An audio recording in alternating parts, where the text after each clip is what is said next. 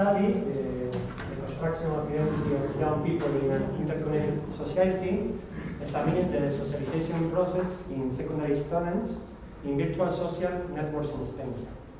These are some preliminary results of the research project called Learning Ecologies in Multiple Contexts, developed by three universities research groups, ICUFO, ProScience, and Nodo Educativa. The development of the information society has brought a number of phenomena associated with the emergence of social networks, the spread of cloud computing, and the arrival of intelligent mobile devices. The ultimate effect of which would seem to be taking us toward a change in paradigm to the way in which individuals live the hyperconnected experience and which would represent a third human evolutionary force different ways in which the new digital media are able to make the transition from a conception of technology associated with entertainment and hanging out to applications linked to messing around and getting out to reach a use that is more associated with empowerment and social and political participation. Many studies examine the changing conditions in which identity is created and recreated on the internet, and the possibilities of projecting an image of one's self using digital technologies. How young people are more aware about managing and changing the configuration of their personality on the internet. The main objective of our research is exploring the forms of socialization and communication developed by secondary students through digital technologies and specifically through virtual social networks. The issues dealt with under this objective were as follows. How, first, how do interested young people join the network? What are the elements of the socialization process in the digital ecosystem? And the second one, what possibilities do social media offer to stem and negotiate aspects of activity such as managing the personal, private, and public lives of young people? The methodological design was based on a dual strategy of qualitative social research comparison. On the one hand, the design, development, and analysis of focus group, and on the other hand, two virtual ethnographies combine group interviews with analysis of screens and group chats. Accordingly, the focus groups and virtual ethnographies were structured around a dual criterion. First, homogeneity factors, age, social class. Two, heterogeneity factors, gender, environment, internet access, level of technological use, experience, experience in participating in virtual social networks and frequency of use, academic achievement. Fieldwork work was conducted throughout 2012 and 2013 in the Spanish province.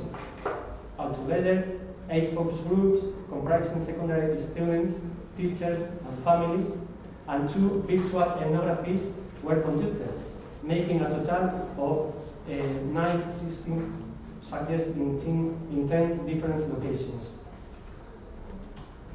The data analysis and interpretation process was in keeping with the proposed issues. issues.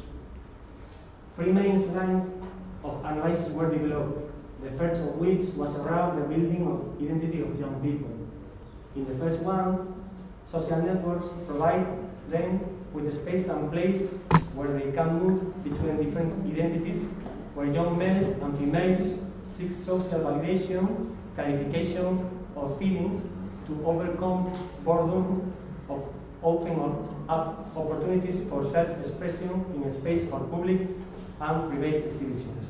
An example, WhatsApp is used to document the moment, a chronicle, photographs just for the sake of it, to reproduce a social or natural phenomenon, portray a personality and state of mind, to seduce, excite others, or excite themselves, even photographs posted. The second process will be incorporation. And this shows how digital technology, is, becoming, is becoming an integral part of the subject's daily activities in keeping with their, their needs, knowledge, and preference.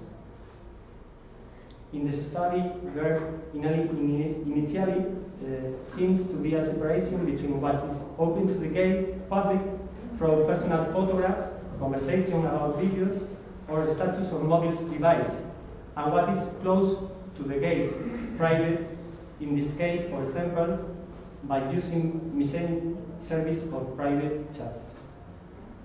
Nonetheless, a closer look will reveal that this opening up, or what might be termed public mirrors of intimacy, is limited to the scope of the peer group, hence ruling out the possibility of greater dialogue and communication with the adult world. Some young males and females are interested in the lives of certain characters, famous people or celebrities. Picking a famous person and following him, her, or the network contributes to identity construction, given that their opinions and interactions integrate them into a community of fans and enthusiasts of sport, music, or show business. The final phase, conversions, shows how digital media are integrated into the public terrain, transforming the conditions and forms of socialization in the different scenarios, and the time for leisure, studying or class, or resting. Times for studying and entertaining intermingle in a way and to a degree, this is a highly different to previous generations making other interstitial given the fluctuation between school stacks, waiting times, or short journeys. In the case of parent-children's relations, this study also showed how adults have certain misgivings about digital technologies and their impact on family relationships. Leverage of social media means a loss of control over their sons and daughters. In summary, families reflect on these challenges from the perspective of a sort of inherited memory that makes them think about their children's problems based on a memory of their, of their own education. This leads them to apply a mechanism of pressure, control, and prevention to deal with the situations that arise in their children's relationships with media technologies and devices, or otherwise exercise forms of parental control where we, under the pretext of of better communication with their children.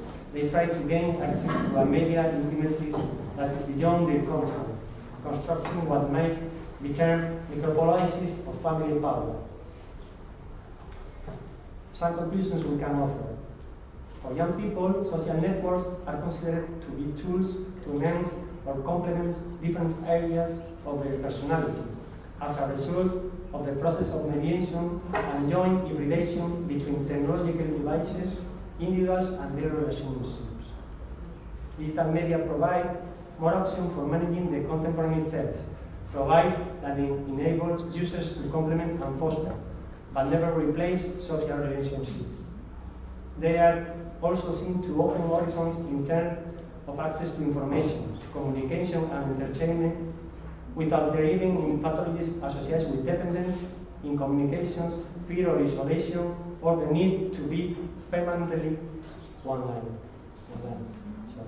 In summary, a future line of study on relationships between young and technology would be would include recognizing the potential of this interconnected digital practice that increase an individual's options, not only because of the, of the capacity to describe affection and interaction, and thereby participate in contemporary forms of sentimental education, but also because by mediating the experience, communication, expression and exhibition of users of social networks, they ultimately contribute to maintaining, to maintaining and managing social engagement by reinventing those aspects and structures of society that from time to time are seen to be dysfunctional.